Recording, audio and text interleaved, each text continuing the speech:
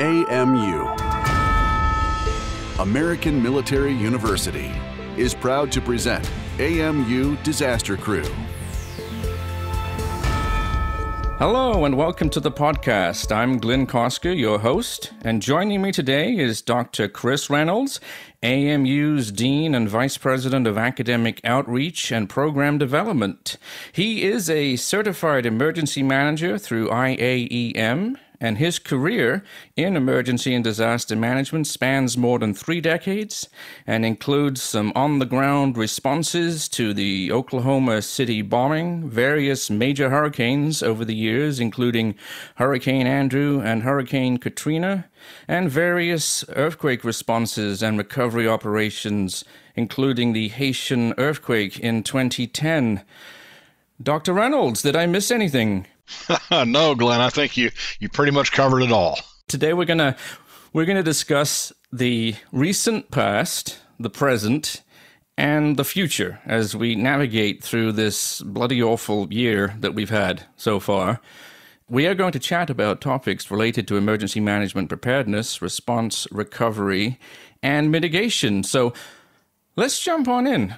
Chris, the hurricane season seems to be never ending. There's been 25, maybe even 26 named storms at this point, and we've had some major hurricanes. And uh, you know, when they start getting into naming them alpha, gamma, and you know something like your f- college frat house, we know we've uh, we've got a lot of hurricanes on our hands because obviously the names start at A, and then once they get to Z, they have to start doing other ones. So what has been your take on this hurricane season? How have we reacted and responded to some of the more heavier hurricanes that made landfall this year? Well, Glynn, that's a that's a very good question. I think that uh, most of the listeners can agree that the 2020 hurricane season has been really unprecedented in terms of the number of storms. Now, we've gone into the Greek alphabet before during hurricane seasons, but we haven't really gone into the Greek alphabet where we've had named storms uh, strike the continental United States. So um, it's unprecedented. And I think that in terms of preparedness, I think that the states that align the Gulf Coast as well as those that align the Atlantic do like they do every year. They prepare. Most states that have an act, that are involved in active hurricane seasons along the coast uh, prepare for this seasons well in advance. And as you indicated in your opening about you know the uh, essentially the four phases of emergency management with you know preparedness and mitigation, response, and recovery. They're always in in one of those phases, even in the off season, mitigating and preparing for the next season. So, in terms of the the professionals, I think they're they're doing a really good job. Unfortunately, in terms of the population, I think that you know they're becoming weary. I mean, the poor folks up along the northern Gulf Coast of Mexico you know, they've had a couple storms this year where it's created a lot of damage. There's been some fatalities that have also occurred, and they're worn out. They're tired, uh, just as the responders are tired. Yeah, and you really can't blame them for being tired. Uh, the people that live, as you said, in the states that are most affected by um, hurricanes that come through, they must be pulling their hair out. I live in New Hampshire. We don't get too many major storms. Well, we get a lot of snowstorms, of course, but it's very unusual for the remnants of a hurricane or something like that to hit us. But those people that live in obviously North Carolina, South Carolina, Georgia, the Alabama, Mississippi, Louisiana, Texas. I mean, if you were to give one piece of advice or maybe a few, what would be your top three preparedness pieces of advice to give people living in the uh, in the crosshairs of some of these major storms that happen every year? Well, that's a that's a that's a great question. I, I think you know first of all, as you indicated, it goes beyond the coastal states because these storms come inland and they'll sweep across you know the continental United States and bring in heavy rain, wind, and a lot of tornadoes with them that create uh, you know additional damages you know, my my best advice to you know to people that are in areas where they're subject to either a direct strike or ancillary strikes due to you know the winds and the the heavy rain and tornadoes is to assure that you know you have a plan that the family members have a family plan that includes what to do whether it be going into the basement for a tornado or it be going to a shelter or may be going to high ground. You know, families should have an idea what they are going to do uh, when a storm comes or when a disaster comes. If, in fact, families you know, decide to shelter in place and stay at home and it's safe to do so, they should also have at least three days or 72 hours of subsistence, meaning they should have, a, you know, uh, dry foods, uh, non-perishables that they can rely upon to survive for three days in the event you know services are cut off or responders can't get to you if in fact you have damage to your home and you can't get out. And the third thing is to make sure that you have you know your medications and that you have you know things for children you know to keep them busy. Games or you know cards or something coloring books that will keep their minds occupied you know while you're sheltering in place or even while you're going to an evacuation shelter.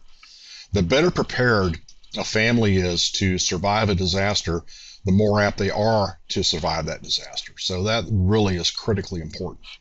Absolutely, it is. And you, you touched on a few things there, particularly your emergency kits, which I, I would guess that quite a few people in the country don't really know what to put in that thing and aren't really that aware. Um, you mentioned, of course, canned foods and medications. But there's a whole lot more items that could go into one of those kits, especially if it's some sort of catastrophic event that's going on around you, right? Yes, correct. You know, some of the things you want to consider too, and and you know, I, I believe in practicing what you preach, and I preach the same here with my family in, in Tampa, Florida. You know, we're right in the middle of the hurricane uh, center in terms of where storms will come up the Gulf of Mexico. Is being sure that you have your important papers in watertight containers that if you are evacuating, that you take some of those papers with you, that you have, you know, form of identification, you know, that you have cash available because a lot of times, um, you know, there won't be the, the, the services for credit cards won't be available because, you know, the lines may be down. So you should have cash with you to, you know, pay for items that you're able to find should you need them. You know, and of course you want to make sure too that whatever you have at your home that you want to, you know, make sure is safe move it to higher floors or move it up onto desks, cover them with plastic, and so forth. In the event that there's heavy rain or there's a breach in the ceiling or the roof that allows rainwater or you know some of the outside things to come in that could damage your property. So that's other things you want to consider. Right. And of course, I always find it interesting when there's a major hurricane approaching. Obviously, all of the media outlets are covering it, and you've got people reporters and meteorologists and people like that, and emergency managers who are giving advice on this major hurricane that might be coming through. But then, of course, once it makes landfall, oftentimes the news kind of stops and really the story is just beginning isn't it i mean because once that storm it might lose a little bit of power and it won't be on everybody's lips and the day after it makes landfall but there's a lot of other terrible things that can happen inland with these storms right Oh, absolutely. And you bring up a good point. I think all of us realize that the 24 hour news cycle requires the stations or the networks to outdo one another in terms of whether it be the reporter standing in the 125 mile an hour wind being blown sideways trying to stand up and talk about how horrific the storm is that has a lot of visual appeal you know and it's it's pretty stunning from an observer's point of view you know to watch and see you know the fury of nature and mankind standing against it you know. But as you noted you know once the storm makes landfall pretty much the coverage see, you know seeks out the next disaster or the next you know story that's going to run the news cycle. What we in emergency management like to say is that honestly, the recovery operation is is the longest and it takes the longest to go through. So, in terms of the phases of emergency management, after the storm has come through and we go into a recovery phase, that can last sometimes years before recovery is finally truly realized. And I, there are a lot of examples. You know, Hurricane Michael that hit uh, the Panama City and my former duty station, Tyndall Air Force Base, essentially wiping Tyndall Air Force Base off the map, they're still in recovery. And there are storms around, you know, around the United States where that's an example. The human side of the stories are the real misery for folks that aren't directly impacted by a storm begin after landfall because that's when services are down. The electricity is out. You know, uh, potable water is not available. Trash pickup is gone you know, there's no telephone service. Cell cell towers are down. And that's why I go back to, you know, what we talked about earlier, Glynn, of making sure that you know, you have a plan, number one, and number two, that you have sustenance, that you have, you know, the things your family needs to survive. You know, having a generator is important. And moreover, knowing how to operate that generator, making sure that it's outside, that it's nowhere close to a building where carbon monoxide can come in and, you know, hurt your, yourselves, your family members. Those are some of the, the, the preparedness items that families want to consider because it helps, you know, lessen the severity of not having services. And if you've got a generator that can run, you know, a small television or a portable or a portable radio or a refrigerator, you know, life is going to be a little bit easier for you, you know, in, in those uncertain times. Absolutely true.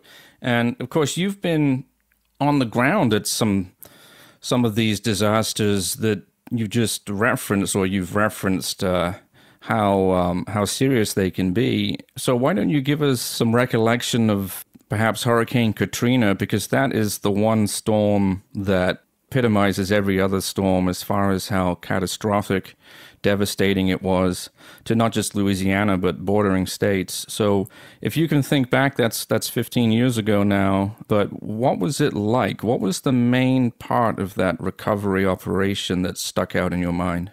Well, you know, Katrina was was as you said quite a storm, and you know the wind and rain was certainly bad, but the real disaster was when the levees gave way and there was that widespread flooding that occurred.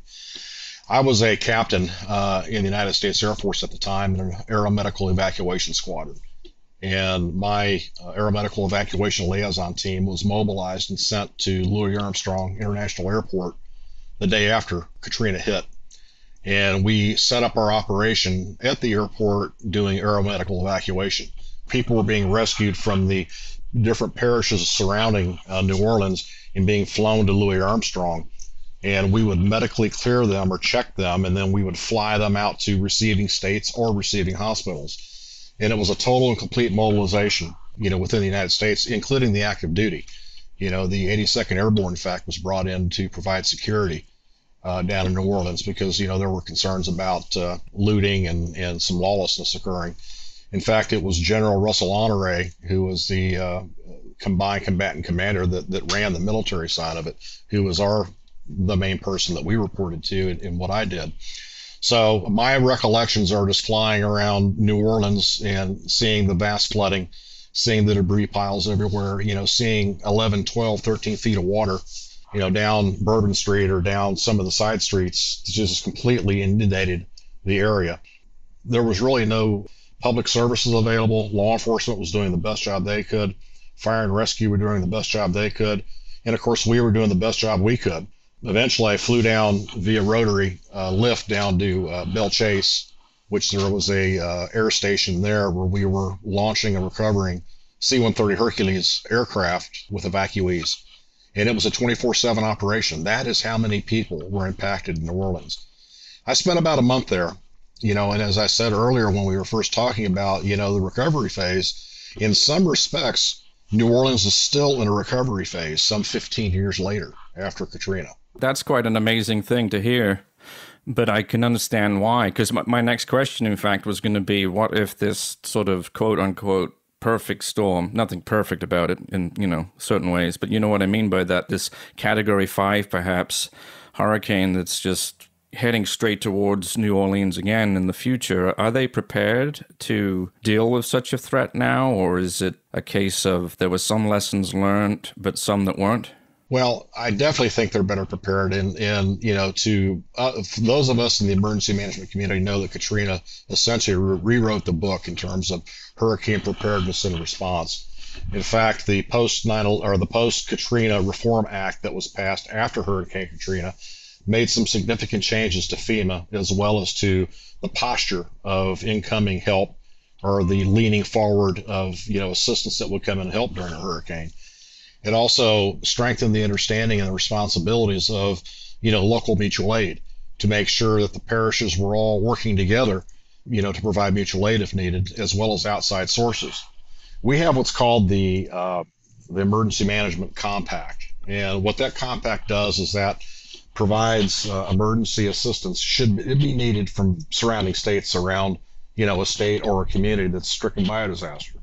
Now, in your example of a Category 5 hurricane hitting, I would tell you that any Cat 5 hurricane hitting anywhere that no community is really fully prepared for because the devastation and catastrophic nature of such a storm would uh, would likely result in a large loss of life as well as great loss of infrastructure. Uh, and again, we would look at making sure that uh, the population that were in areas that were in flood zones or that were in tidal areas were evacuated and put in shelters, as well as getting people that might be susceptible to high winds, get them, getting them in shelters too. In terms of preparedness, yes, we're better prepared than we were during Hurricane Katrina. Would we be successful in, in responding to and recovering from? I think we would. But I think, like any disaster that hits, we always have lessons learned where we could we see that we could have done things perhaps better in some respects. I'm Glynn Cosker. My guest today is Dr. Christopher Reynolds, and we'll be right back. To handle massive damage from natural and man made disasters, today's first responders need specialized training. Get started down your next training path in emergency and disaster management with a degree from American Military University. You'll learn from highly experienced practitioners in the field. Take the next step and apply today at amuonline.com. Welcome back to the podcast. I'm talking to Dr. Christopher Reynolds.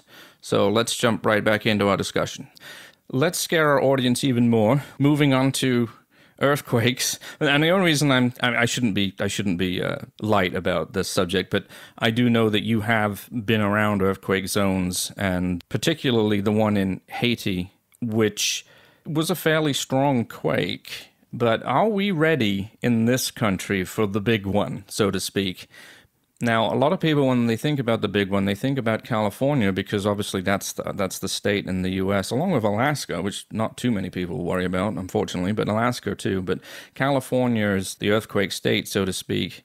But then there's little known area called the New Madrid Zone, which is in the Midwest, which actually had the worst earthquake in modern or United States history a lot of people would think that the worst earthquake to ever hit the U.S. would probably, or the mainland I'm talking about, not counting Alaska, most people would think it would be uh, in California. But there was this series of earthquakes in the New Madrid zone in the early 1800s. It was a huge event. What would happen now? Are we ready for something like that to happen, Chris? Well, you know, first of all, are we ready? I mean, we're ready to an extent and to a degree, but to say that we're fully prepared for really any disaster, you know, is, is folly because, you know, the nature of disasters is that it brings the unknown, you know, and you can only be prepared so much. I mean, you talk about New Madrid, the New Madrid zone, you know, 1810, 1811, 1812 time frame when that hit, there really wasn't much infrastructure in Missouri, Kansas, in that area. There just, it was mainly, you know, frontier. So, in terms of the earthquake affecting population or it affecting infrastructure, there really wasn't that much population or infrastructure that uh, that was impacted. Although it was, as you said, it was the largest quake that we've had in the continent of the United States. I think the earthquake that stands out in most everyone's mind is the San Francisco earthquake in the early 1900s. You know that uh, created so much issue, damage. Go forward in history to other earthquakes, the Great know, Alaska earthquake, and of course, somebody had the Loma Prieta quake that happened. Many people were watching game whatever five or six of the World Series when Loma Prieta hit. You know, the Oakland Bridge partially collapsed, apartment buildings collapsed, and you know that was a got a lot of attention, got a lot of news, and there were a lot of fatalities that came out of that. And like I talked about with Hurricane Katrina about the post Katrina Reform Act, every time there's been an earthquake disaster, there have been different laws or different uh, expectations that have been brought out from after action reports on how to handle it differently. Just like South Florida has a Southern Florida building code that's based on hurricane preparedness. On the West Coast in California, they've got a building code out there strictly to deal with earthquakes that talk about foundations and what's the best type of foundation to have on a high rise structure that doesn't cause the building to fall during liquefaction or, you know, when the ground turns essentially into a liquid and it sinks the building. I think that in terms of, of a nation, I think we're better prepared in terms of logistics and being able to send help. But an earthquake striking a, a major city, you know, if the San Andreas fault perhaps uh, hit and it reacted in San Francisco and Los Angeles, I think just based on the population centers alone, there would be a number of fatalities. The infrastructure would be greatly impacted.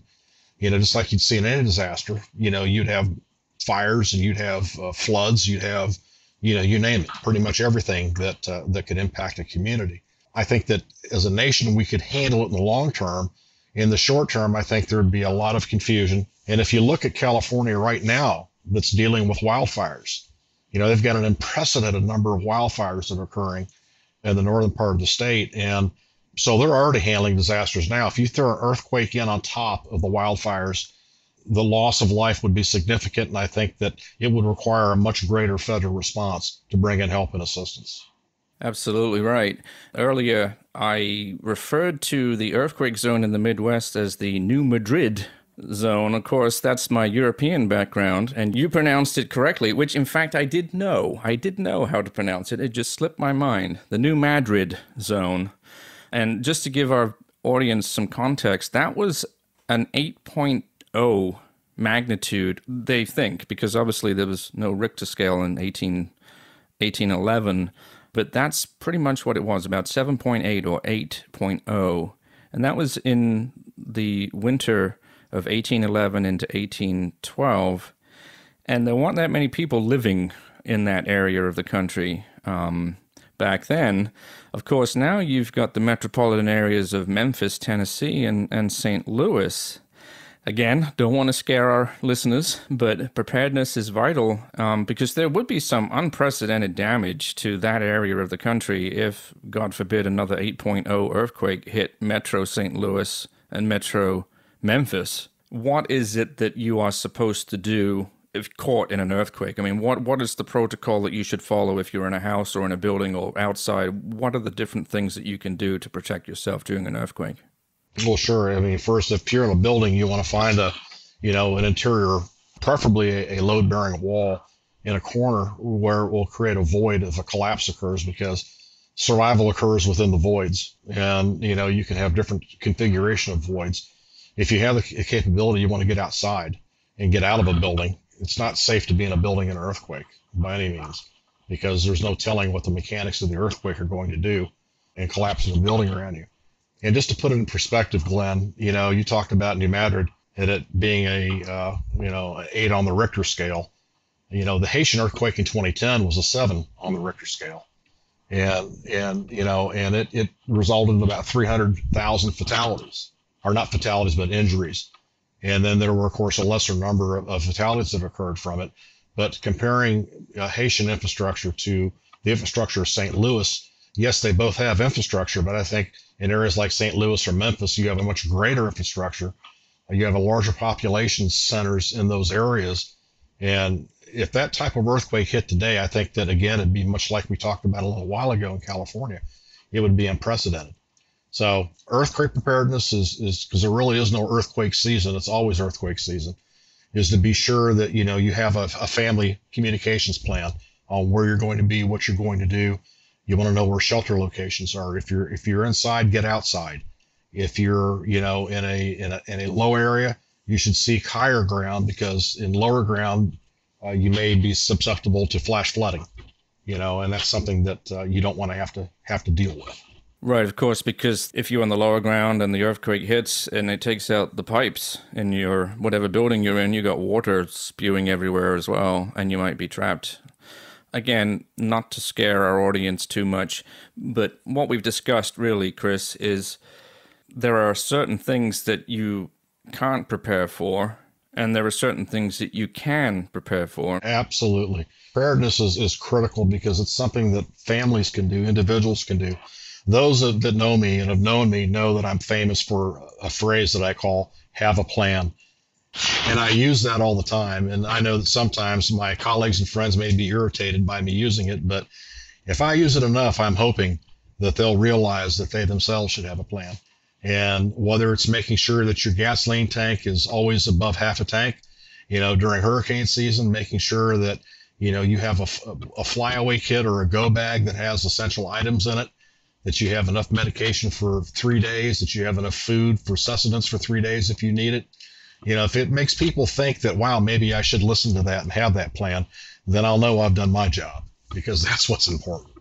I'd like to thank you very much for being my guest today. Thank you so much, Glynn. I appreciate the opportunity and I look forward to working and chatting with you going forward. Thank you for joining us today. I'm Glynn Cosker. Join us again on a future episode. Thank you. For more information about our university, visit us at amuonline.com. Thank you for listening. AMU, American Military University